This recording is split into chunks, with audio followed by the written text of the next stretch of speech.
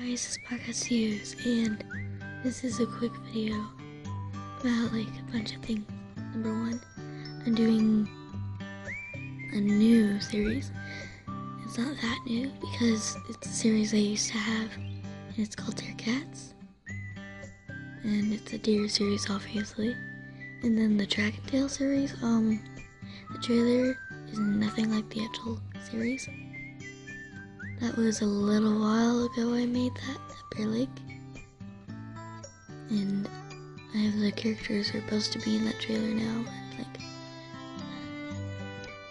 I also have a shout out to Script Promo LPS and LPS Feline TV and LPS Alex and Ryan Norton. So yeah, um, bye.